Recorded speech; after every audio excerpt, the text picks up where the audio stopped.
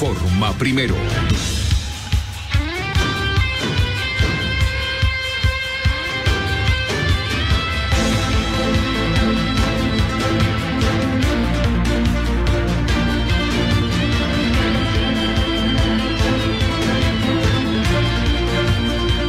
...18 horas 30 minutos, eh, cielo nublado, temperatura en Buenos Aires 14 grados 7 décimas.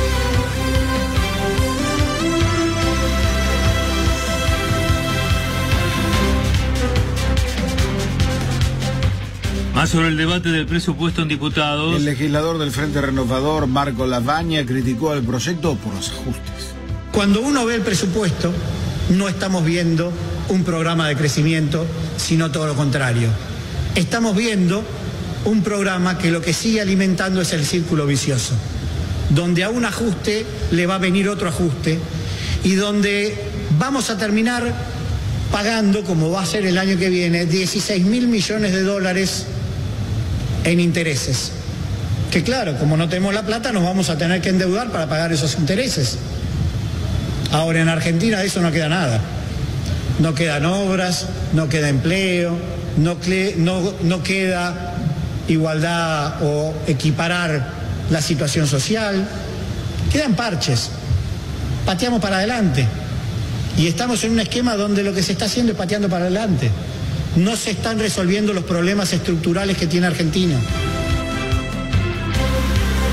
El dólar cerró en alza. El oficial en promedio en la City porteña cotizó a 37 pesos con 88 centavos. La suba se dio, según se indicó, debido a que el Banco Central no renovó la totalidad del vencimiento de sus letras a siete días, por lo que los fondos sobrantes fueron volcados a la compra de dólares. En cuanto al paralelo, se ubicó en 37 pesos con 20 centavos. Tránsito. Se mantiene cerrada la zona del Congreso, también está cortado el tránsito Avenida de Mayo desde Lima hacia la zona de Congreso, esto es Rivadavia y Entre Ríos. Por otra parte ya quedó habilitada la salida de Avenida 9 de Julio desde la autopista 25 de Mayo en ambos sentidos de circulación. En cuanto a los servicios, la línea A de subtes continúa sin detenerse en la estación Congreso. En Buenos Aires cielo nublado, temperatura 14 grados 7 décimas, humedad 65%. 18 horas 32 minutos. Mitre informa primero. En 30 minutos volvemos. Presenta